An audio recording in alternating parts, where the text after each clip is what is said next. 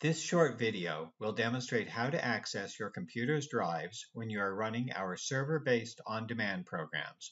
For instance, to save a PDF of a report for emailing to someone with your own email program rather than the program's emailing facilities, restoring a database backup from your standard version of one of our programs as part of a conversion to on-demand, or to import some donor or donation data into the donation program from Excel or a text file, or import downloaded online banking transactions into accounts. The reason this is an issue is that from within the on-demand programs, the C drive you can access is not part of your computer, but rather the on-demand server that the program lives on.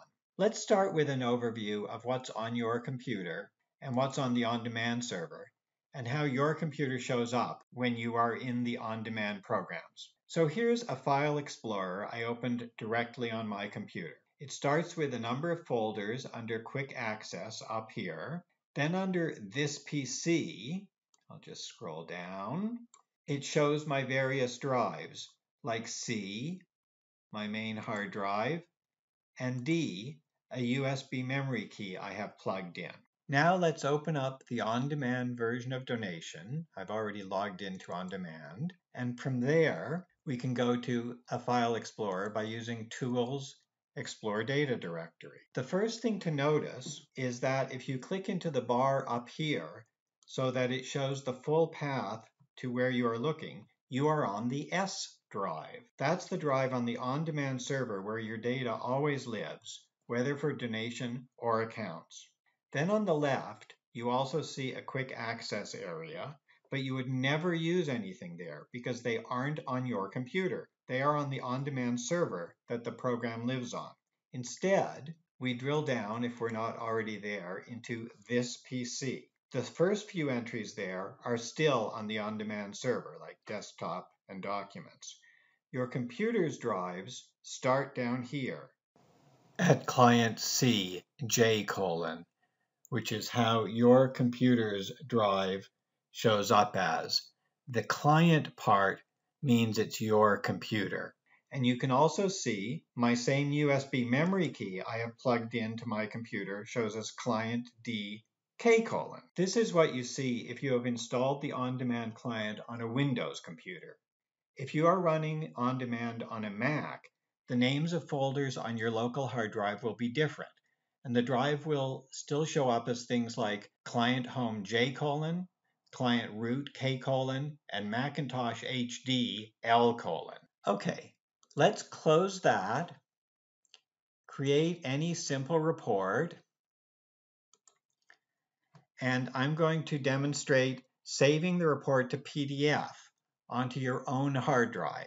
The issues are the same for our accounts program and also for loading files from your computer's hard drive rather than saving. So here's my report and I click Save PDF. In the window that comes up, drop down this Save In list. If you are trying to open a file, such as an import file rather than save a file, this drop-down area would instead be called Look In. As when we were looking in File Explorer, the first several items on the list up here, which look like they might be where you want to save things, aren't. Again, they are on the on-demand server, not your PC. Instead, you need to select Client C, J colon, like this, or if you wanted your USB, you could have selected Client D, K colon, or it might be Client E, L colon. Anyways, back in Client C, to find your commonly used directories like My Documents, etc., scroll down and drill down into Users by double-clicking on it. Then on your Windows username, mine is dcoop. Under that, you'll see the folders that you know and love. Documents, which is the same folder as what usually shows up on your PC as My Documents. Desktop, and then things like Dropbox, Google Drive, and OneDrive. You can drill down into any of them to save there. So I'm going to double click into Documents so that I can save there, and then click Save.